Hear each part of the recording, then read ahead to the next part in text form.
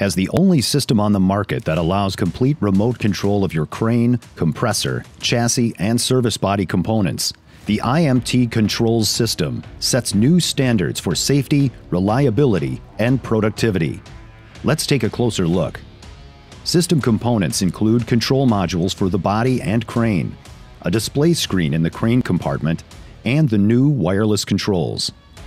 Setting up the IMT controls system is simple. The most common configurations are the default, but these can be easily adjusted to meet your needs.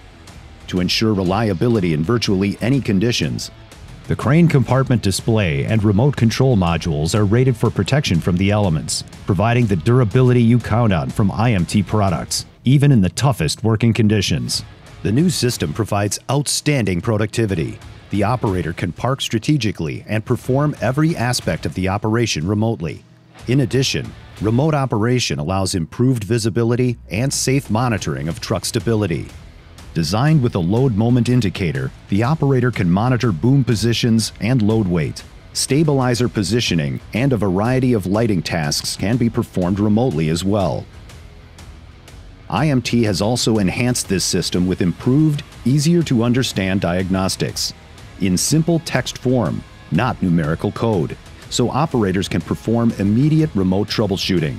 Plus, if the radio remote becomes disabled, all tasks can be performed from the crane compartment. The IMT controls system has been industry tested for more than two years.